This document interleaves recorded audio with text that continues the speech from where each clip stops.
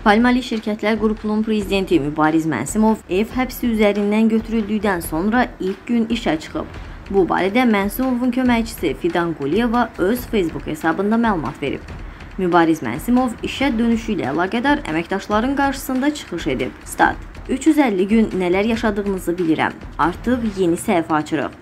Geriyə, keçmişə də baxmadan yalnız irəli gedəcəyik. İnanıram ki, daha yaxşı günlər bizi gözləyir. Statın sonu.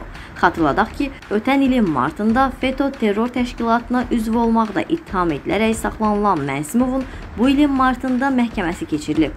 O 5 il müddətinə cəza alaraq məhkəmə nəzarəti altında şərti azadlığa buraxılıb. İş adamı iyunun 29-da İstanbuldan çıxmama şərti ilə ev həbsindən azad olunub.